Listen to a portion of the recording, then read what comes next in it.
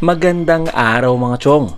Good vibes muna tayo ngayon dahil pag-uusapan natin ang masasayang moments kahapon sa gitna ng laban ng LA Lakers at Dallas Mavericks. Sa ulo ng nagbabagang balita, after 10 years, pinitawan na nga po ni Boban Marjanovic ang kanyang pangsyam na 3-point shot. Si Kyle Kuzma naman, nagbakaw, di Nedma si Lebron. Speaking of Deadma, Josh Hart inisnab nga ba ni Lonzo Ball? Yan. At si Boban ulit sa kanyang dalawang no-jump blocks kay Dwight Howard. Pero syempre bago yan, pindutin muna natin ang like at subscribe button para maging updated ka, hindi ka gaya ng katabi mo. Boban Marjanovic unleashed the Kraken sa NBA bubble scrimmage. Dahil binitawan na nga po nito ang pangsyam na 3-point shot niya sa kanyang buong NBA career. Tuwang-tuwa nga ang kanyang kakulitan na si Papa Doncic. Pero actually hindi nga po ito counted sa official stats niya. Scrimmage lang kasi.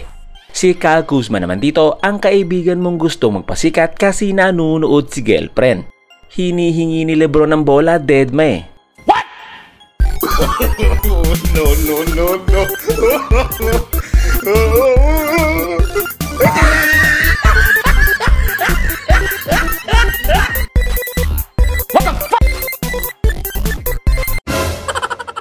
Hmm, mukhang may maiibig na naman. Pero hindi yan. Scrimmage pa lang naman to eh. Hindi pa official game, kaya no pressure. Namataan nga po na parang gustong kamayan ni Josh Hart si Lonzo Ball. Pero mistulang tiningnan lang siya nito. Deadma nga ba ang ginawa ni Lonzo?